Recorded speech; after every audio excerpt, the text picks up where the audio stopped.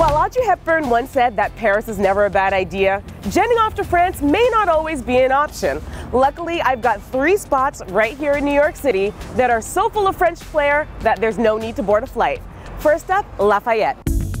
Welcome to Lafayette. It is basically just a nice French cafe with uh, food that reminds you of France and Europe. So if you just are passing by and you want just croissant. You can get it in our cafe or you can stop by for lunch and sit down and relax. What do we have here exactly? Macaroons, uh, there are classic in our cafe. You can find many, many flavors. Oh my gosh, so beautiful. One of my statements is the French onion soup. When I try to go on a leaner side, classic salad niçoise with uh, confit tuna. And on my more indulging days, croque madame. Délicieux.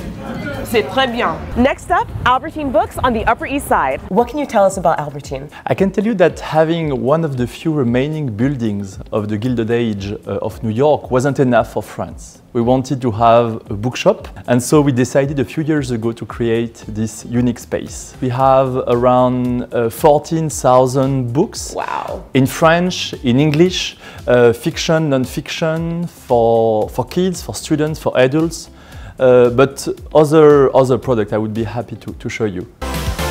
To experience Paris while being in New York, obviously, having a few books about cooking uh, with the best French recipes Ooh, we're all about can French food. definitely help. But we are also close to the kids section with many great books for your children or, or, or French children. But on the other has, on the other side, we have an art section or a fiction section. So obviously, the idea is to to provide you with every kind of book you would love, uh, because we believe that there is a book for everyone. Yes, and I feel like if all bookshops looked like this, so many more people would read. So we can't talk about French flair without talking about the shopping. So our final stop is here at Sézane in Nolita. Sézane offers the quintessential French shopping experience right here in New York. They have carefully curated collections of clothing and accessories that evoke French style like you've never seen before. They offer complimentary beverages so that you can basically live your best French cafe life without ever stepping on a plane.